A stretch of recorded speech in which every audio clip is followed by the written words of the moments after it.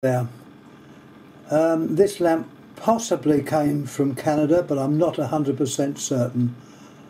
Um, at the time when I went over there, I was amazed at the lamp design. This is what I mean. It's um, the filament is in fact vertical. Now I'd never seen this style of filament in England or Europe. In fact, I it's was at the time completely new to me. Um, I had seen pictures of these in various magazines, but um, to actually see it, and also the fact that there's no supports.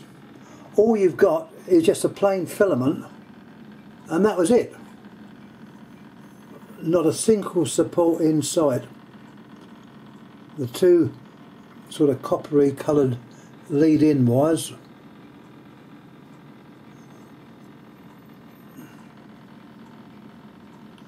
It has a stem but the stem isn't doing anything.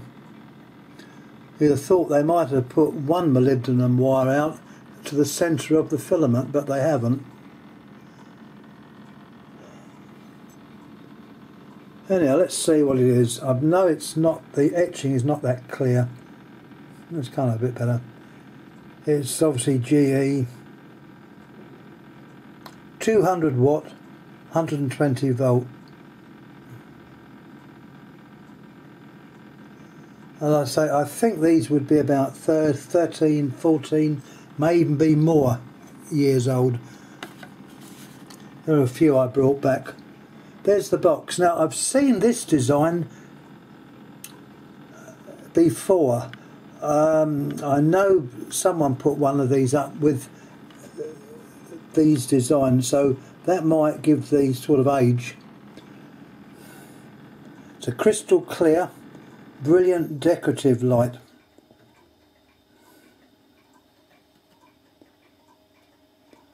Lifestyles for lifestyles.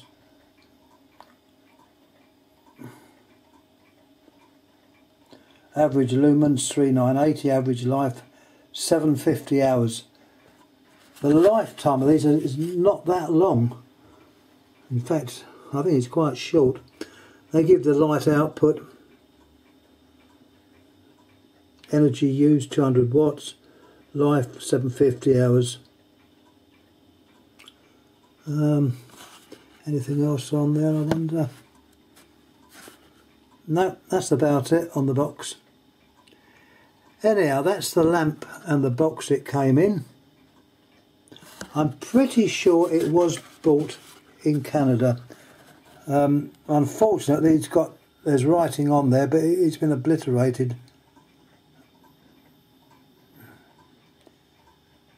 And it's got I don't know if that's Spanish writing on on there or not. I think it probably is. So it looks like it was probably made for Mexico, Canada, and America. Um, the origin, I don't know, that makes sense. It's got Canada and it's got USA, so your guess is as good as mine.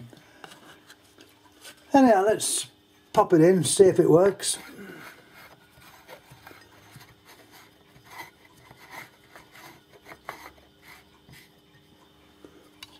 Sure the make sure the variac's off.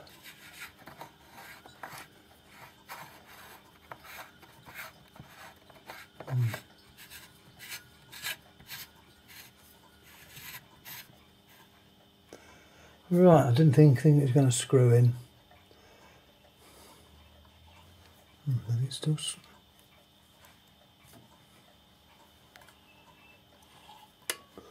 Hmm.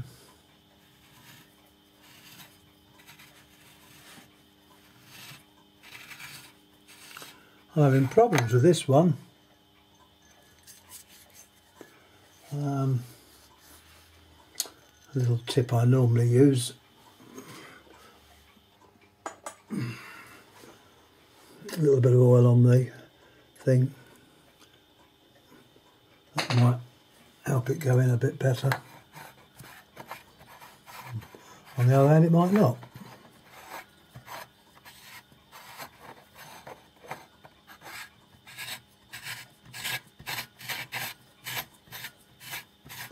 Right, let's try that. Looks like it's gone in that time. Oh, would also help. It's plugged in. That could be the reason. I weren't plugged in.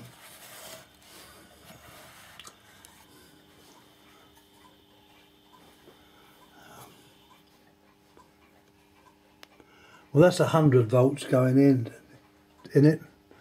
Yes, it is very, very bright. So they obviously overrun the filament, hence the reason it's only 750. It definitely does give out a lot of light at maximum voltage, so I've dropped it down. At the moment, it's on, what is it on? So on about 50 volts. So yeah, that is how they do it. They overrun the filament. Anyhow, once again, any comments please make, any questions please ask, please subscribe. Anyhow, thank you for watching. Uh, sorry I haven't put any compacts up yet. Uh, I'm still looking out for these as they turn up and if they're different to the ones I've already shown you I will certainly put them on. Anyhow, once again, thanks for watching. Thank you.